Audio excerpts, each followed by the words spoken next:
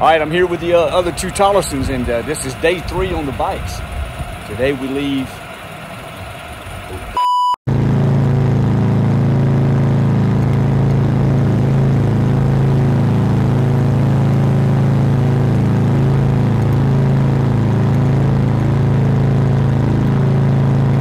In this video, we ride to a place nicknamed the town Too Tough to Die. It's one of the most infamous towns in American history. Founded in 1879, it quickly became a boom town with settlers and prospectors hoping to strike it rich in the silver mines. But boom towns also drew renegades and gunslingers. While the violence here became so prevalent, the undertakers had to work seven days a week and because so many of its citizens died suddenly with their boots on, they named the cemetery the Boot Hill Graveyard. This place also produced one of the most famous shootouts in Western history, the shootout at the OK Corral, which made legends out of some of its participants. Stay tuned, and I'll show you some of this old town, as well as how we got here. Join us as we ride to Tombstone.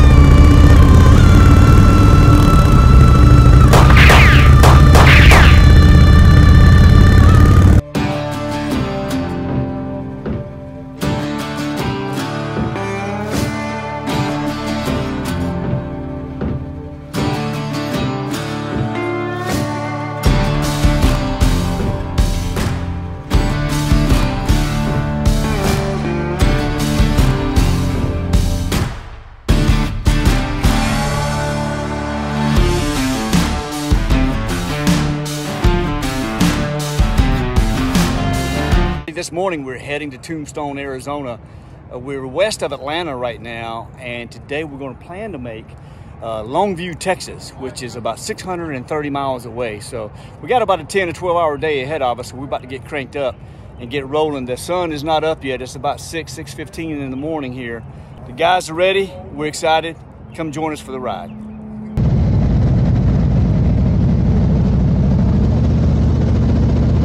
Hey, I want to thank you again for joining us today. This is a four-day ride, so I'm going to share some of the ride, but I also want to share some of the old town of Tombstone. So to keep the video at a reasonable length, I'm going to share a little bit of both. Some of the ride, some of the town, and it should be a lot of fun.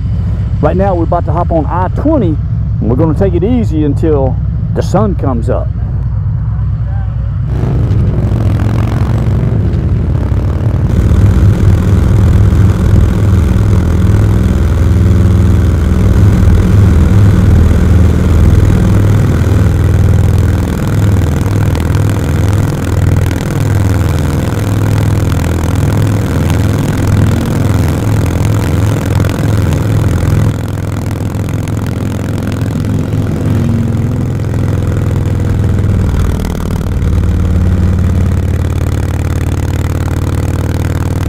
As sunrise replaces the night sky, we roll into Alabama.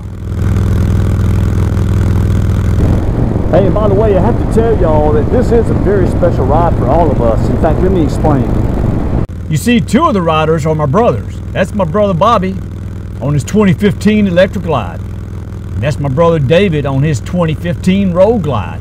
And hey, we didn't always ride big Harley Davidson motorcycles. Oh no, we started out on something far more hazardous tricycles and bicycles with training wheels. And let me tell you, we were known to crash and burn a few times. We graduated to riding lawnmowers. Next came the mini bike, but we only had one, so we had to share. But we didn't mind.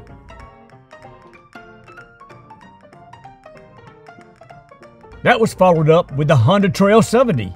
Again, we had to share. And that's Sonny, one of my other brothers, who was brave enough to let us take him for a ride.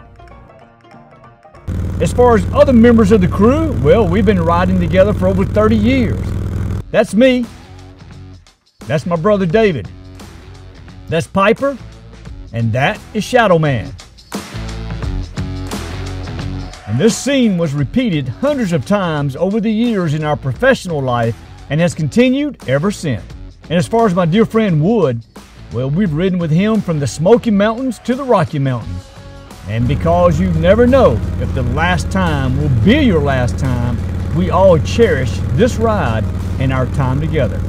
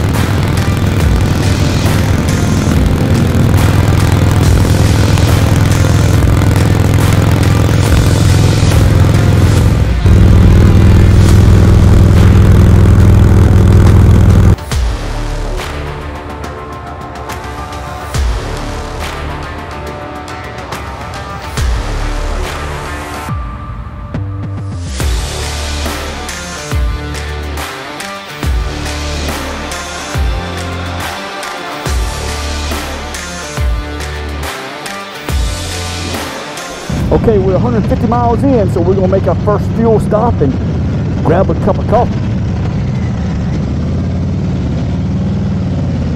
I tell you, I, am colder now than I was when I was riding. I know. Stand here letting the wind hit us. And let me tell you, these guys didn't waste any time. A couple of them didn't even take their helmet off. And after a quick cup of coffee, they were loaded and ready. And took off like riders on the Pony Express excited, motivated to see Tombstone. You tell them I'm coming, and hell's coming with me, you hear?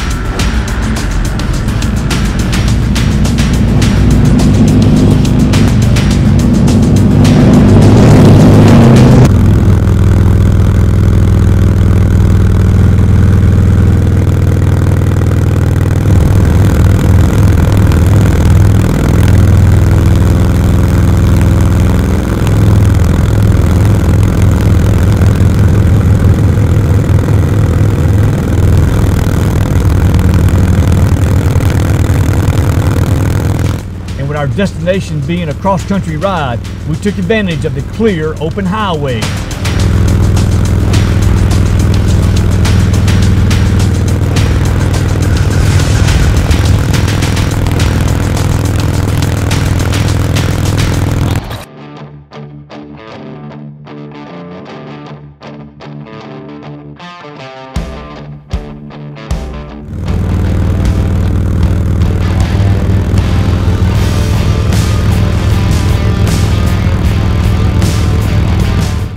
Two hours later, we entered Louisiana as we crossed the mighty Mississippi River.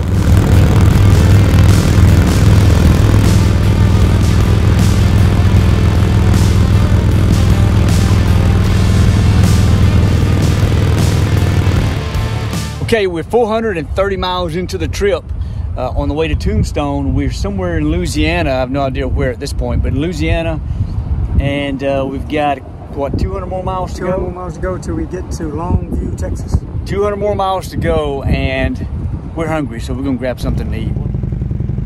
After some nourishment, we rolled out to finish the last 200 miles for the day. We made it through Shreveport without any delays.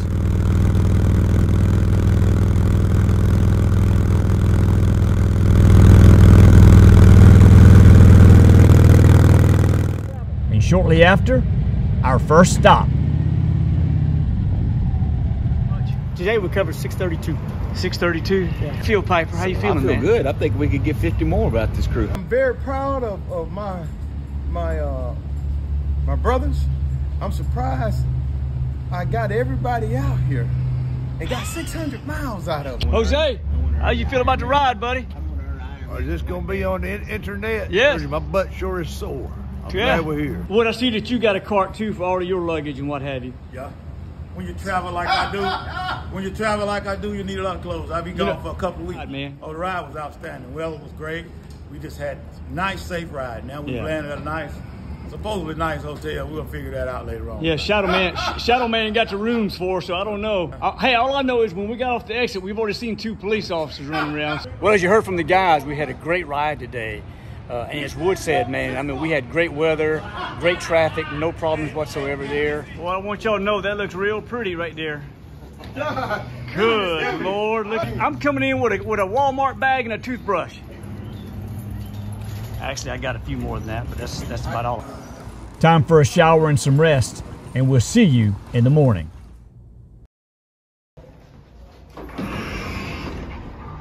All right, I just got word that one of our crews got to turn around and go back home. Let's find out what's going on.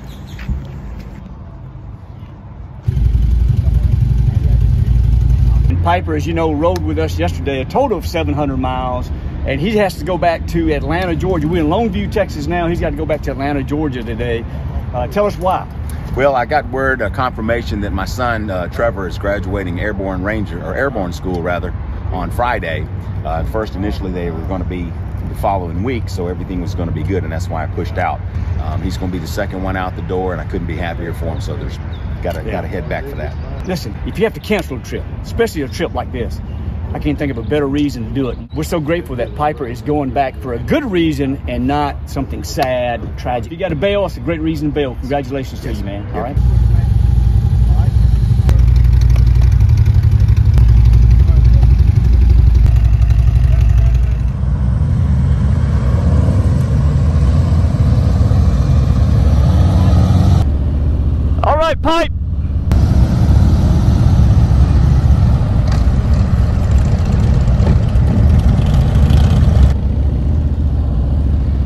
Next stop for the day will be in Odessa, Texas.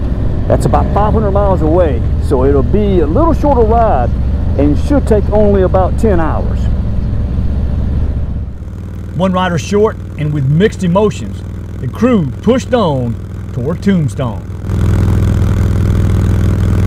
This morning we kept our speeds more moderate, hoping to miss the rush hour of Dallas and Fort Worth, which are only about 90 minutes away.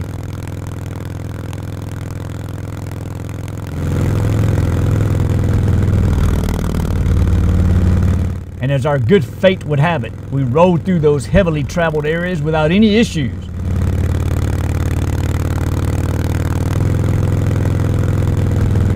And as we put Fort Worth in our rear view,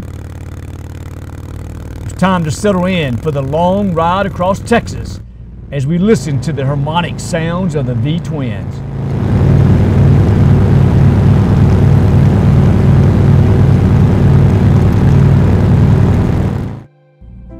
all while enjoying the open, uncluttered highway. Just you and your thoughts and your stories.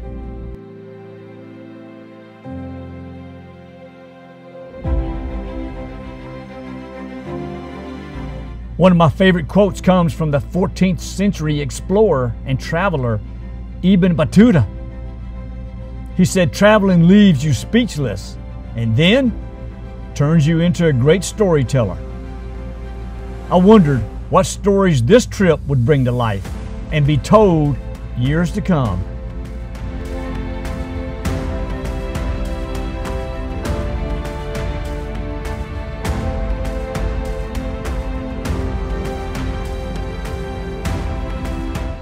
I then reflected on some of the stories created from my travels.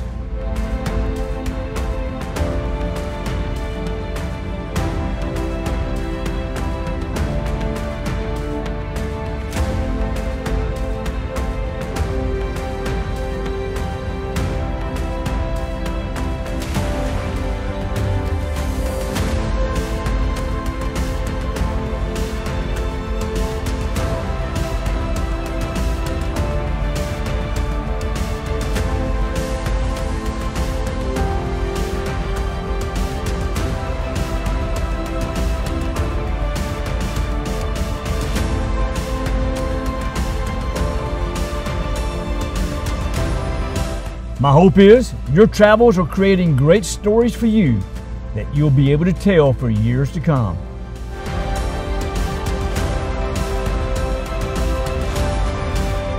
All right, it's been a good hard day of riding so far. We've got about 100 miles to go. Uh, we're still in Texas. You know, Texas is the only place you can hop hop on the road in the morning, drive all day, and when you get to your destination at the end of the day, you're still in Texas, right? Starting to get in the desert part. Yeah, we, we're what, what 100 miles from Odessa. So I'm going to talk to these guys tonight too. We're going to talk about what you know. What do you think about while you ride a bike and you're on the road for 12 hours a day? What do we think about? What do you think about? You know, when you're out there on the road. So we'll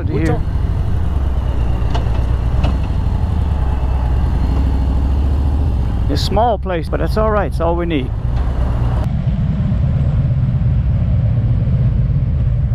Shadow Man, tell us, what are you thinking about on some of these long days we've had on the bike? I'm thinking about how fortunate I am that I can make these rides. You got to ride while you can ride. You know, things happen. You know, and you want to do these things while you still can. And I'm thinking about our destination once we get to where we're going. Wood, what are you thinking about, man? Talk to us. Well, for me, 90% of the time when I'm riding, that's that piece of relaxation. So I'm thinking about the stuff that you can't think about at home because someone's tugging on your left and right all day long. On this ride, nobody but just me and the bike and whatever thoughts that come to my mind. Jose, what's your motivation for taking this long ride across the country? see the daggone town of Tombstone. I watched that movie for 30 years. Uh, I'm fixing to retire in a couple months and I had the opportunity, so I said, I'm going to go to Tombstone, Arizona. Yeah, sure was. Flyboy, why are you doing this? Well, you know, it's uh, for me. It's always been uh, it's always been a quest. Um, can I make it? Can my bike make it? Can my body make it? Uh, will the weather hold out? To me, it's always a, a, a challenge to, to make these kind of long rides. Okay, while the other guys out socializing, I just want to show you what I'm in here doing. I'm downloading some footage uh, from today's ride, and I'm also making sure I got plenty of batteries, the cameras are all checked, and we're good to go, ready for day three. You will never, never in life meet a hater doing better than you.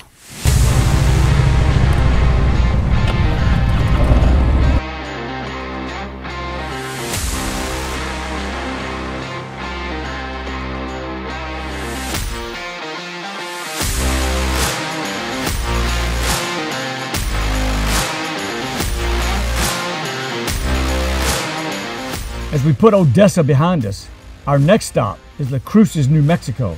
It's about 400 miles away, but tomorrow is D-Day. We roll into Tombstone.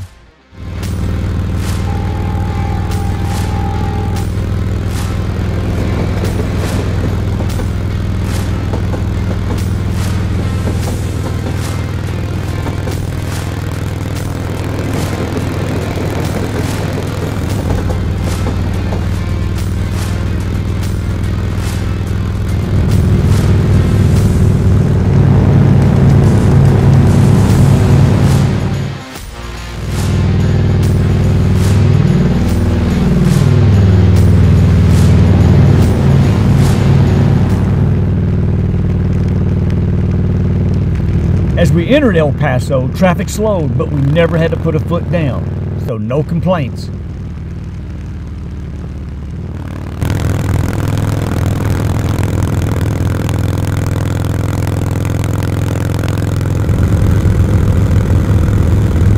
And 45 miles later, we entered the land of enchantment and our stop for the night.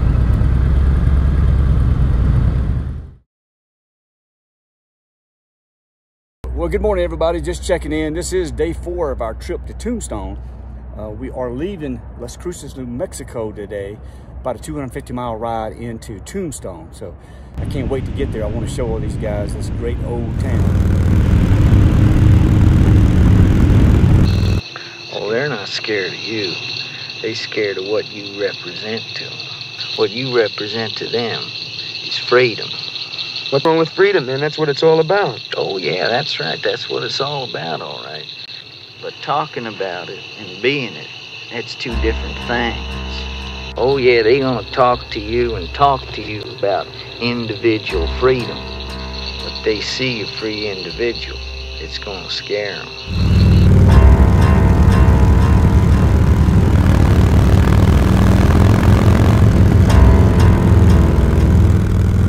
One of the reasons that we plan to pass through New Mexico early is due to some of the extreme weather they get out here.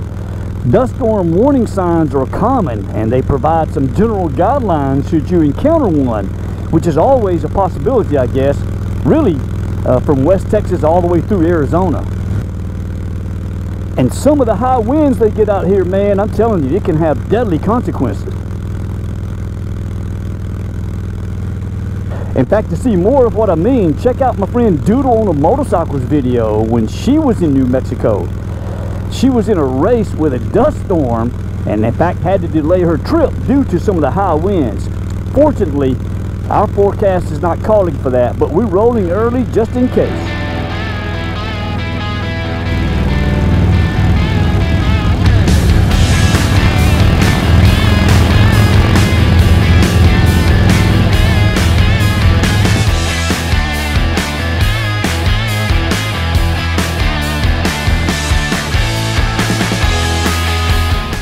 Hey guys, we're coming up on a border checkpoint here. Oh, they're waving us through. They're waving us through. Go ahead.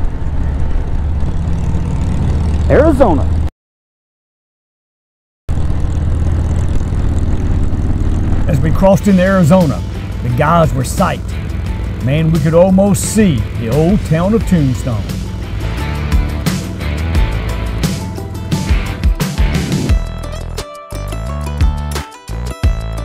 And because we were so deep into southern Arizona, we threw in a little surprise for the guys.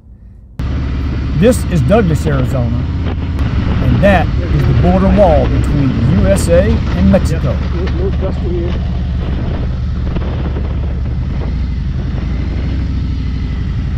On the way to Tombstone, I wanted to bring the guys down here to the U.S.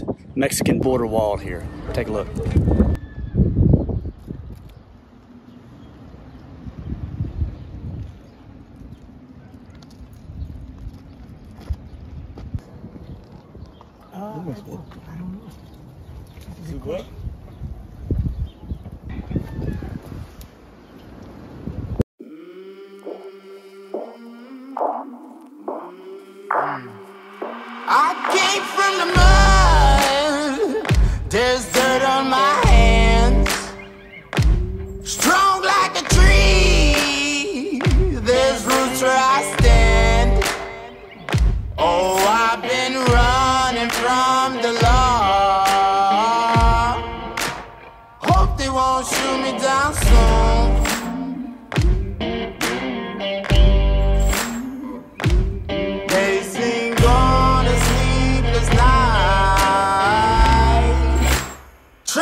Catch me howling at the moon.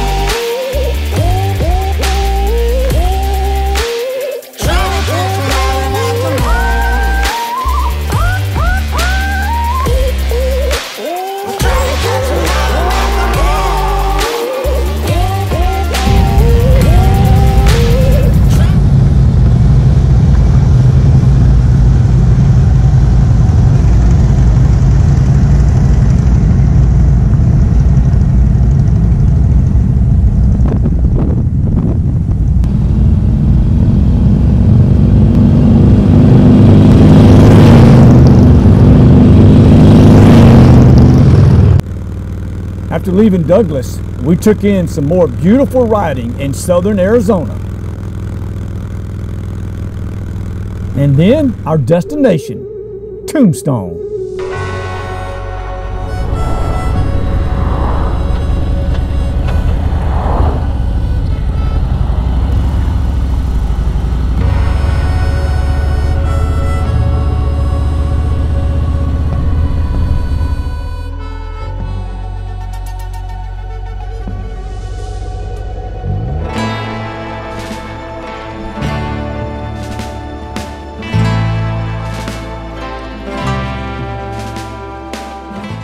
First place I wanted to take the crew was. We just made it to Tombstone, Arizona, and I've just taken the crew to uh, the Crystal Palace. This is one of the original so-called original uh, saloons of Tombstone.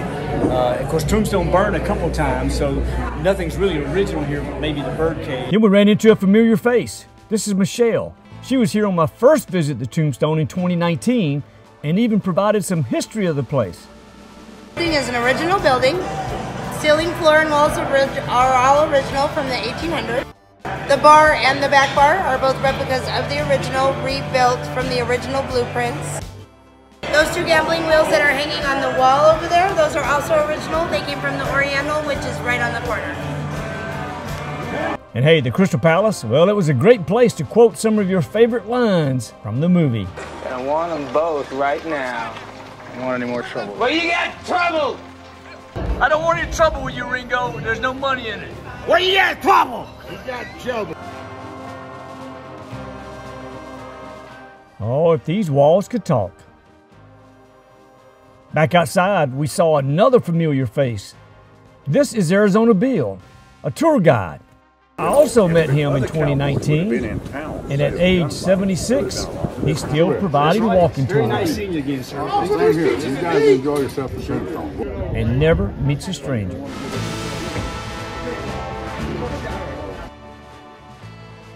As the stagecoach approaches, it's a good time to show you the famous Birdcage Theater. It had its grand opening in December of 1881.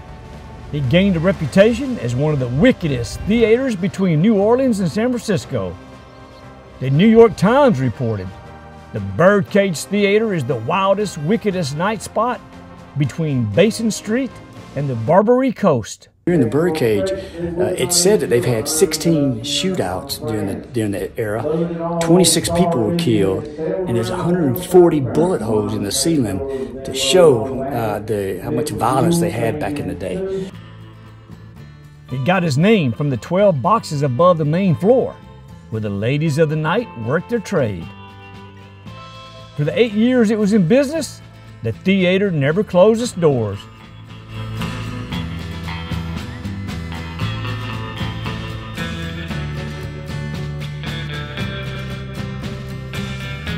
And that's the Faro table. It's said to be where Doc Holliday played.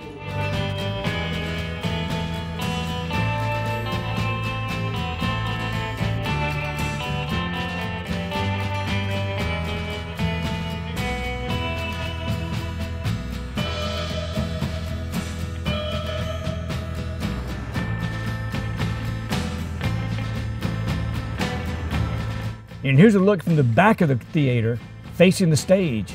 Back in its heyday, it probably looked something like this.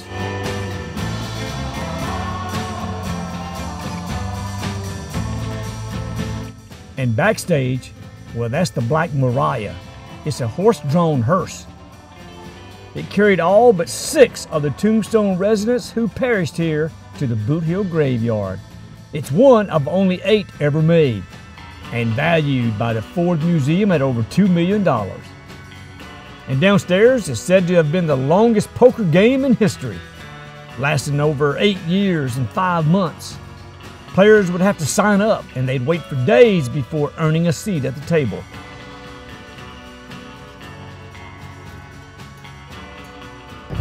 Okay, we're back outside, and that's the stagecoach right there. You can take a tour of the town in one of those if you'd like. This is where the Undertaker's office was, and as you've already heard, they were quite busy back in the day.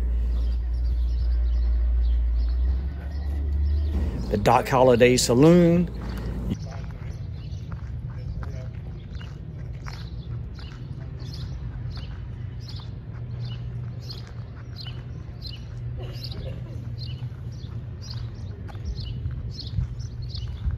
There's the Oriental. They have singing and uh, dancing in there. You see, there's that's a haunted hotel, and once again, Tombstone mixes and blends, if you will, history with tourism, which I'm sure really helps keep this old town alive and supported. That's Big Nose Kate's Saloon. It's on the National Historic Registry and was the original Grand Hotel where many famous people, including the Earps and Doc Holliday, stayed.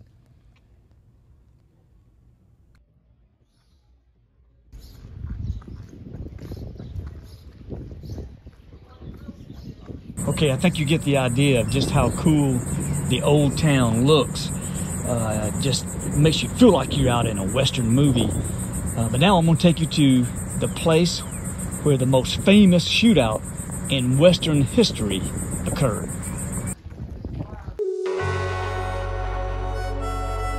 This is the OK Corral. Back in its small lot, the Earps and Doc Holliday confronted the Clantons and McLaurys, who belonged to the Cowboy Gang. Wyatt Earp's hand drawn map of the events, as used in his court case, describes where the men stood. And after a 30 second shootout, two McLaury brothers and Billy Clanton lay dead. And speaking of those who died, they're buried here in the Boot Hill Graveyard. The historic graveyard is resting place for those killed in the OK Corral shootout.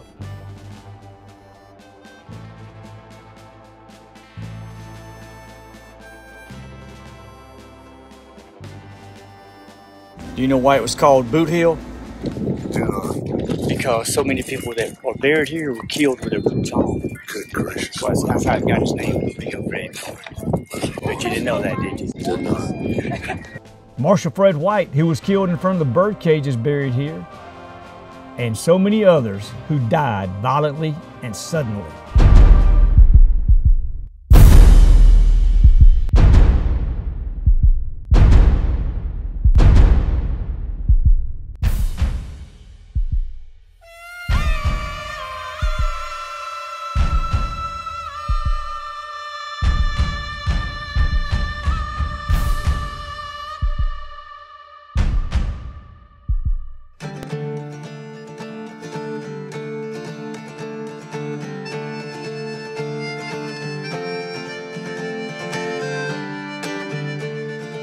Hey, you'll enjoy your visit here. Grab a map and spend some time revisiting a bygone era of the Wild West.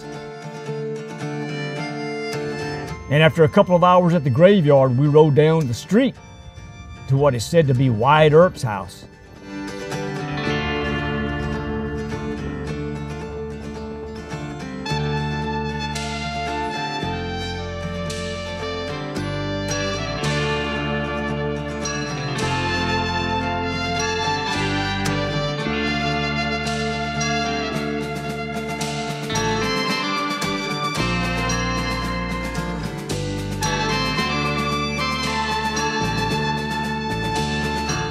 Standing beside the house is a statue of the man this old town made famous. Well, we're going to be in Tombstone a few more days, but hey, we'll let you hop off here. Thanks for watching, and until next time, be well and stay safe.